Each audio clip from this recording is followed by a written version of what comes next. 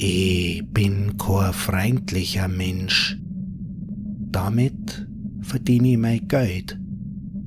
Ich kümmert mich um besondere Aufträge, die meistens daraus bestehen, dass ich andere Leute aus einem Haus vertreib.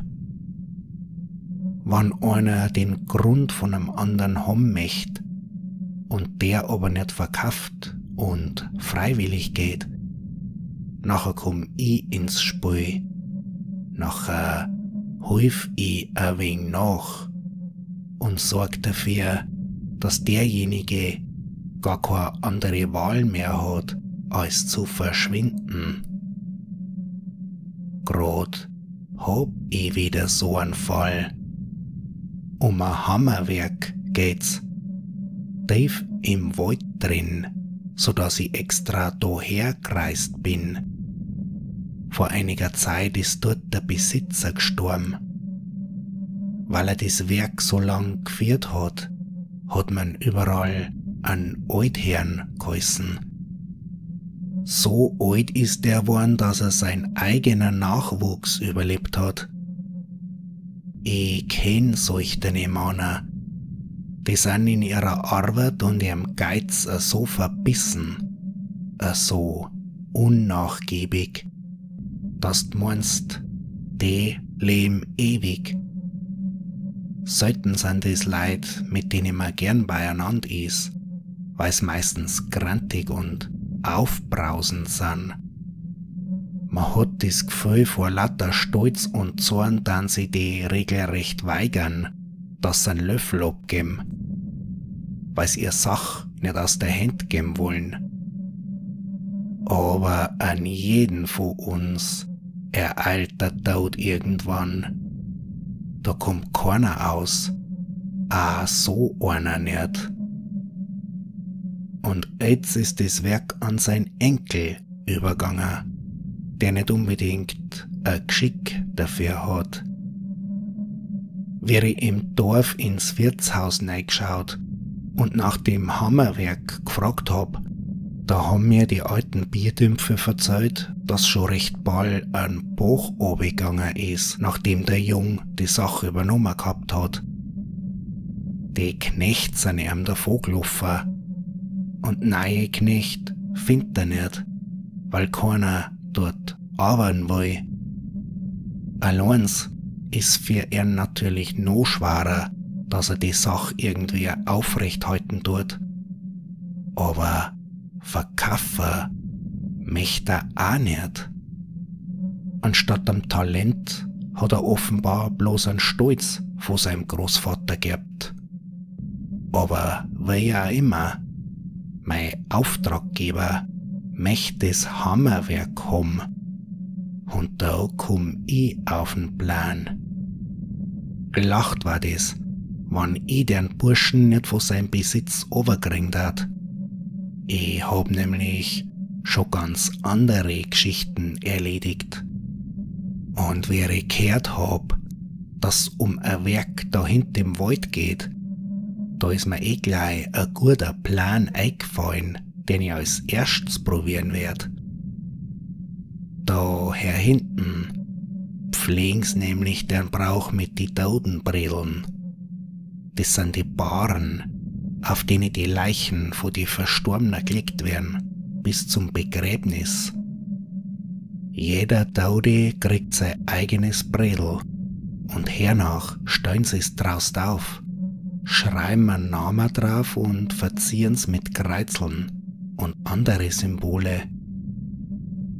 Schon wie ich ans Dorf hingekommen bin, hab ich's gesehen.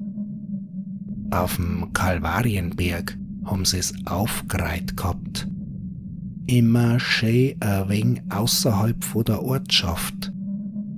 Die Totenbrillen haben nämlich eine besondere Bedeutung, weil die Leich so eng mit dem Bredel zusammen ist und der Tode dadurch seine letzte Verbindung zu unserer Welt hat, bleibt der Geist vom Verstorbenen eine Zeit lang am Taudenbredel hängen, bleibt auf unserer Welt und muss so lang umgehen, bis er seine Sünden abdrungen hat.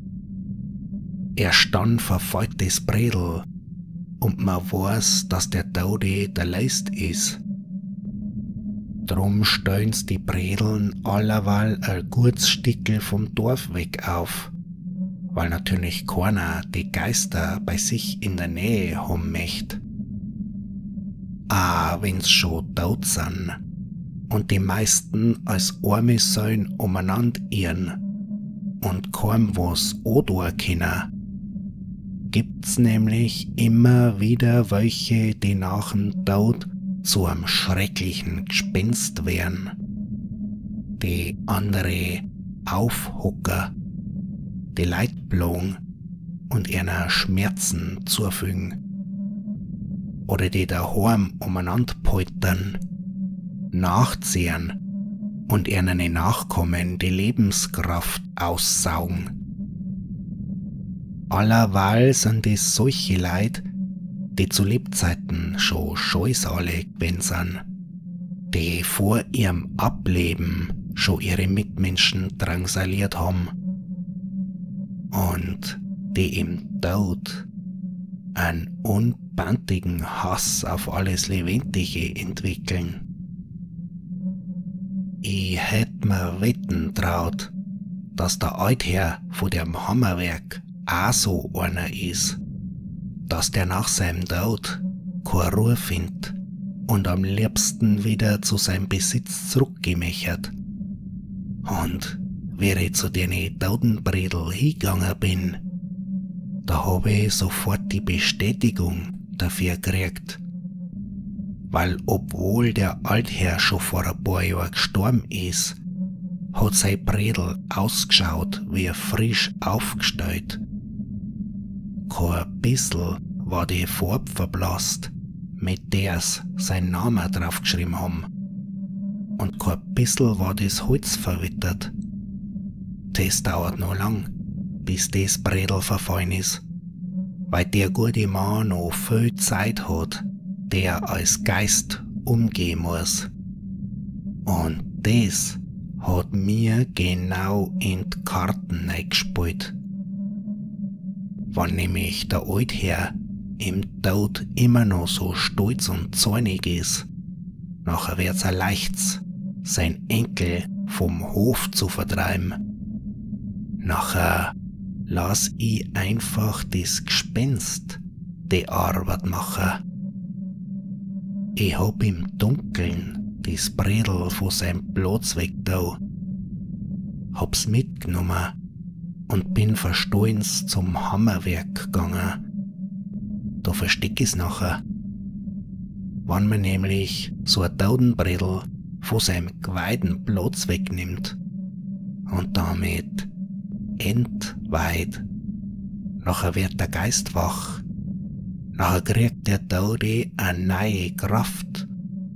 Und für gewöhnlich ist nach drei Tagen so weit dass sie der Geist, der zu dem Totenbredel kehrt, das erste Mal zeugt.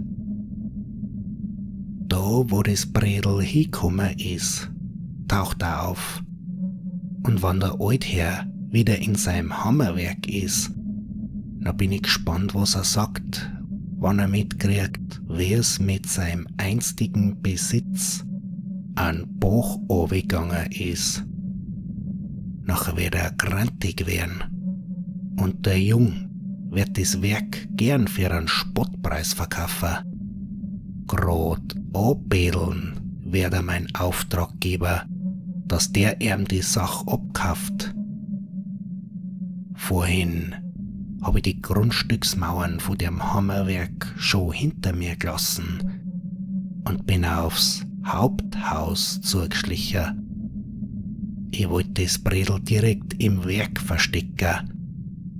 Im hinteren Teil von solche Betriebe lagern sie ja meistens das Graffel, was man vielleicht noch irgendwann brauchen kann, aber was dann in echt keiner mehr in die Hand nimmt. Da, wo wahrscheinlich schon seit Jahren niemand mehr hingeschaut hat, war ein guter Platz, hab ich mir denkt. Also bin ich durchs Fenster eingestiegen und weit nach hinten in das Haus eingegangen. Ich hab schon einen guten Platz gefunden, wo ich das Tautenbredel verstecken kann. Jetzt darf mir bloß keiner mehr in die Quere kommen. Ich hab nämlich das Gefühl, dass ich da herin gar nicht allein bin.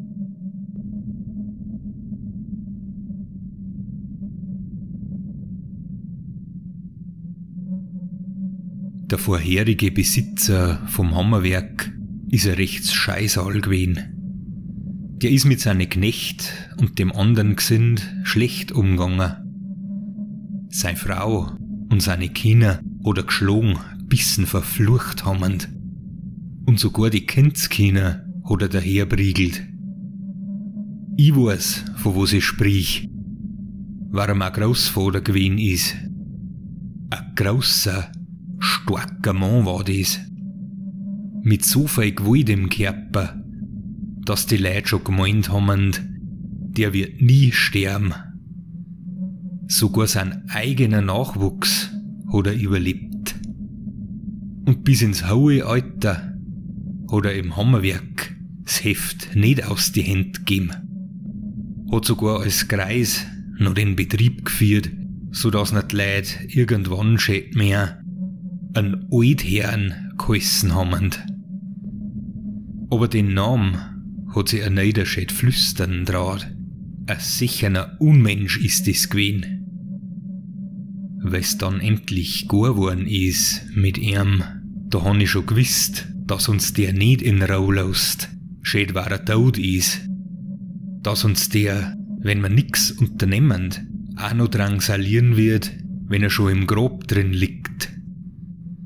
Also haben wir alles gemacht, was der Brauer so hergibt, damit uns der nach seinem Ableben nicht noch sucht. Wenn wir sein Leich eingetragen haben, haben wir seinen Sarg dreimal bei der Haustür angesetzt. Haben wir ihm damit gezeigt, dass er nix mehr zum Sauchen hat bei uns da. Dass es vorbei ist für ihn. Und dass er sich bei den Leventinger nimmer sehen lassen darf. Das Bett, in dem er gestorben ist, das haben wir so, wie es war, in den Hof eingeschoben und verbrennt. Das nix, was er im Tod berührt hat. Nix, wo noch etwas von ihm dranhängen kann, überbleibt auf der Welt. Und sogar die Oschen davon haben wir im Hof hint vergraben und ein Kreuz aus Stein draufgelegt. Aus dem Bredel, auf dem sein Leich die drei Tage bei uns im Haus gelegen ist, haben wir, weil's der Brau bei uns ist, ein Taudenbredel gemacht. Und haben es drast vor der Ortschaft am Kalvarienberg neben die Bredel von den anderen Alten aufgestellt. So hat alles seine Ordnung gehabt. Alles ist anständig zugegangen. Und der Altherr hat eigentlich keine Möglichkeit gehabt, sie an unserer Welt festzuhalten. Aber wir haben nicht mit der Beharrlichkeit vom Altherrn gerechnet. Und an euer Sein ist dann losgegangen. Als erstes haben wir Schritt am Dachboden umgekehrt. Haben wir uns gewundert, wer oder wo's dort oben umeinander geht. Und dann, weil wir nachgeschaut haben, war nix und niemand zum Finden. Das ist aber erst der Anfang gewesen. Weil schon in der nächsten Nacht haben wir wieder etwas gehört.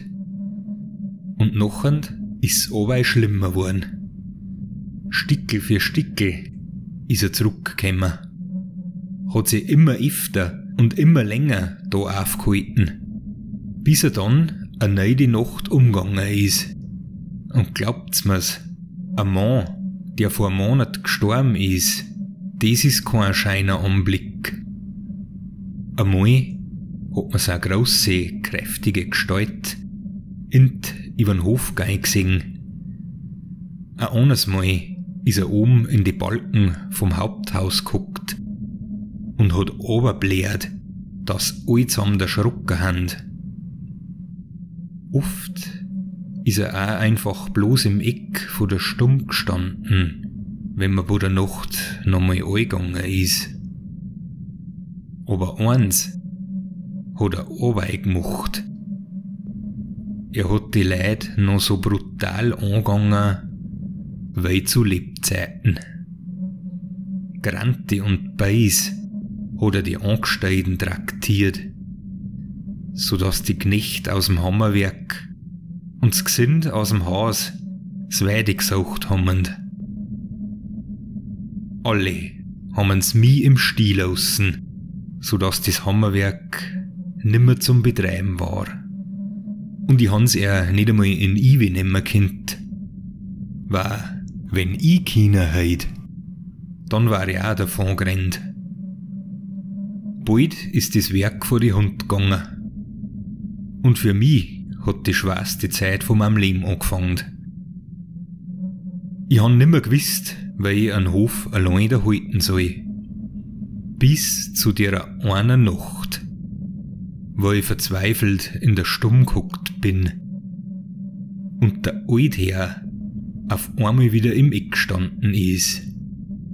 Bleich und grante, mit einem blutigen Gesicht. Dann han ihn zur Red gestellt. Han er grad ausgefragt, wo's er da eigentlich wei, ob das wirklich seine Absicht ist, so viel Angst zum Verbreiten, bis das Werk noch ganz zum Teufel geht. Und dann hat er mir verzeiht, warum er da ist. Der Bra sagt nämlich vor, dass der Geist vorm Sünder noch so lang an unser Weit bunden ist, bis sein Daudenbredel drast im Weder verfallen ist. Erst danach kann er uns verlassen. Im Fall vom Altherrn aber wart dann nicht das Himmelreich auf ihm, sondern die ewige Verdammnis in der Heiint.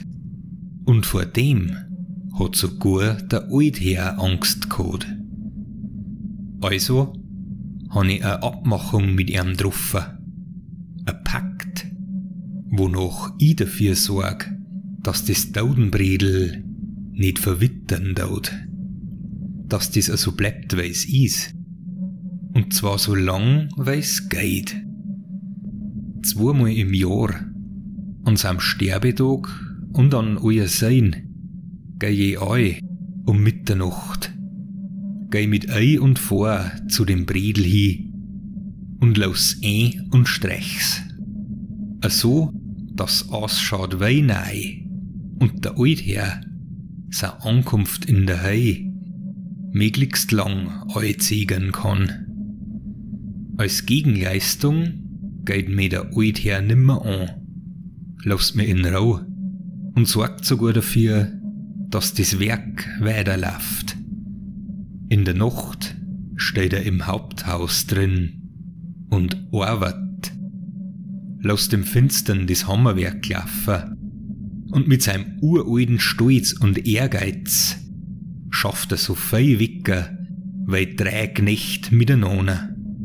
Durch das geht's mir jetzt finanziell besser und ich mag nicht auf die Angebote eingehen von dem Häusabschneider, der mir meinen Grund für einen Spottpreis ankaufen möchte. Ein Haken hat die Sache aber. Der Altherr ist auch im Tod aber noch ein zorniger und brutaler Mann. Und auf seine zwei wichtigsten Sachen schaut er ganz scharf auf. Das eine davon ist sein Totenbredel. Am Ende hängt von dem sein Dasein in unserer Welt an. Jede Nacht schaut er am Kalvarienberg nach, ob alles in Ordnung damit ist. Keinen einzigen Kratzer darf das drum kriegen. Und ich mag mir gar nicht ausdenken, was er mit einem machen darf, der sich traut, sie ansam Taudenbredel zum Vergreifen. Das eine, auf das, was er drakonisch aufwirkt, ist natürlich ein geliebtes Hammerwerk. Tatsächlich gibt's auch immer wieder Leute, die bei uns einbrechen möchten, was meinend, es gab etwas zum Holen bei uns. So wie grad vorhin zum Beispiel. Da habe ich vom Fenster aus gesehen, weil einer über die Mauer vom Grundstück gestiegen ist und sie zum Haupthaus hingeschlichen hat. Irgendetwas hat er dabei gehabt, aber ich hab's im Finstern nicht so genau gesehen. Es ist auch egal. Der arme Teufel meint wahrscheinlich, er kann der Geld bei uns auftreiben. Möcht am Ment sein miserables Leben aufbissen. Aber das Einzige, was er da drin beim Oidherrn finden wird, das ist schlimmer als der Tod.